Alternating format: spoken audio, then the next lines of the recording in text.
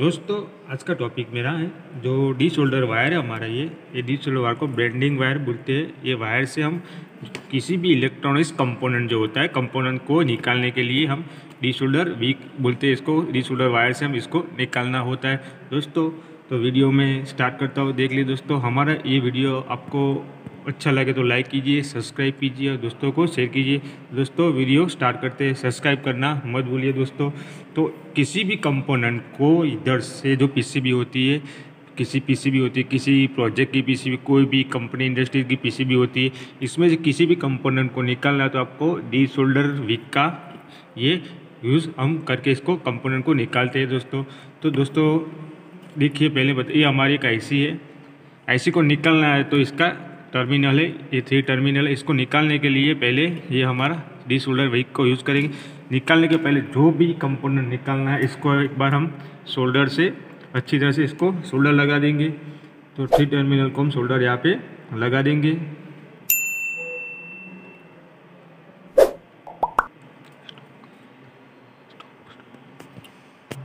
तो इस वीक को हम पहले, ये हमारी पेस्ट है। पेस्ट थोड़ी इसके ऊपर केबल के ऊपर लगाने से अच्छी तरह से इसकी जो कंपोनेंट निकालने के अच्छी तरह से हो जाएगा। तो इसको पेस्ट इसके ऊपर मैंने लगा दिया है। ये हमारी पेस्ट है।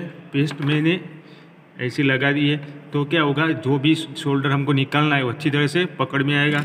तो हमारी ऐसे निकालने के लिए ऐसे इसको, इसके रखना है। तो इसको मैं ऐसे देख लीजिए आप।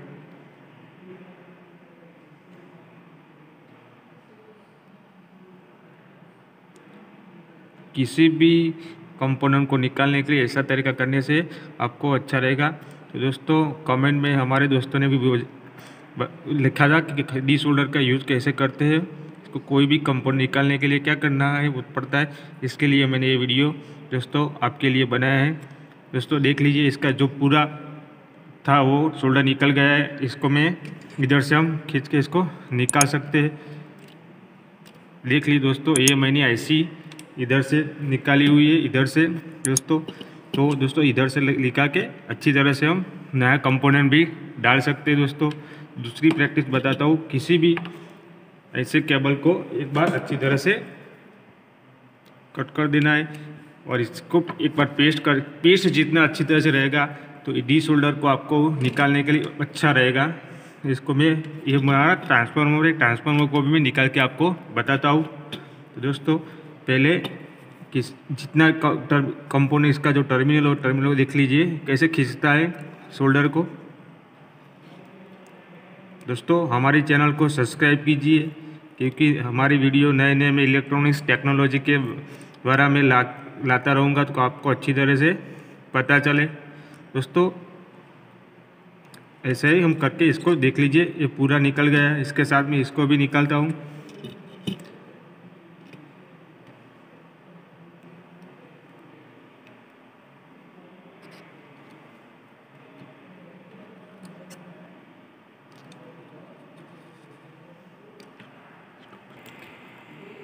दोस्तों यहाँ से पूरा मैंने डी शोल्डर वीक जो वायर से मैंने निकाल दिया है और ये अपना पूरा होल क्लियर कर दिया है जो ट्रांसफार्मर का। ट्रांसफ़र की आपको दिखाता हूँ मैं इसको ऐसे तरह निकाल के आप निकाल सकते हैं दोस्तों। तो देख लीजिए दोस्तों मैंने यहाँ से पूरा डी शोल्डर वीक से आ, मैंने ये ट्रांसफार्मर निकाल दिया है दोस्तों।